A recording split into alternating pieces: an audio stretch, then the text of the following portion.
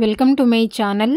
ఈరోజు అమ్మ వంటల రుచిలో పాతకాలం పద్ధతిలో చలిమిడి అట్టు లేదా చలిమిడి రొట్టె ఎలా తయారు చేసుకోవాలో ఇప్పుడు చూద్దాం.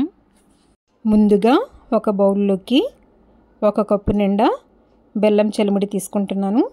మీ దగ్గర బెల్లం చలిమిడి లేనట్లయితే పంచదార చలిమిడితో కూడా తయారు చేసుకోవచ్చు.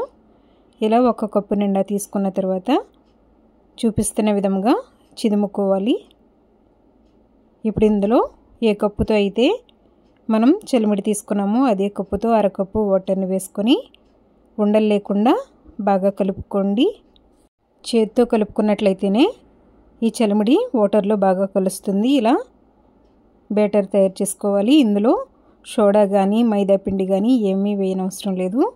ఇలా కలుపుకున్న తర్వాత పెనం వేడైన తర్వాత గుంట గరిటె నిండా బేటర్ని తీసుకుని ఇలా అట్టులా వేసుకోవాలి.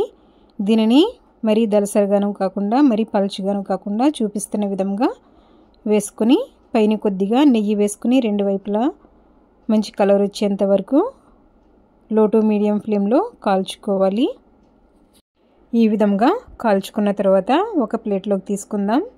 ఇదే విధంగా అన్ని అట్లు కూడా తయారు చేసుకోవాలి. మీరు అట్టు వేసుకున్న ప్రతిసారి కూడా బ్యాటర్ని కలుపుకోండి. లేదంటే కింద చిక్కగాను పైన పలుచగాను ఉంటుంది. ఇలా కలుపుకొని మీరు అట్టు వేసుకోవాలి. దీనిని నెయ్యి వేసుకునైనా కాల్చుకోవచ్చు లేదంటే నూనెతో కూడా కాల్చుకోవచ్చు. నెయ్యితో కాల్చుకున్నట్లయితే టేస్ట్ చాలా బాగుంటుంది. ఇది పాత పద్ధతిలో నేను మీకు తయారు చేసి చూపిస్తున్నాను. చలిమిడి ఎక్కువగా ఉన్నప్పుడు లేదంటే ఎక్కువ మిగిలిపోయినప్పుడు ఇలా బ్రేక్ఫాస్ట్గా కానీ లేదంటే ఈవినింగ్ స్నాక్స్ టైంలో కానీ ఇలా తయారు చేసి పిల్లలకి పెట్టినట్లయితే చాలా ఇష్టంగా తింటారు. మీరు కూడా ఇలా ఒకసారి ట్రై చేసి ఎలా వచ్చినాయో కామెంట్ చేయండి. ఈ వీడియో మీకు నచ్చినట్లయితే లైక్ చేయండి మీ ఫ్రెండ్స్కి రిలేటివ్స్కి షేర్ చేయండి. మీరు ఫస్ట్ టైం నా ఛానల్ని చూస్తున్నట్లయితే మరిన్ని వంటల కోసం అమ్మ వంటల రుచి ఛానల్ని సబ్స్క్రైబ్ చేసుకుని పక్కనే ఉన్న బెల్ ఐకాన్ కూడా ప్రెస్ చేయండి. Thank you for watching my video.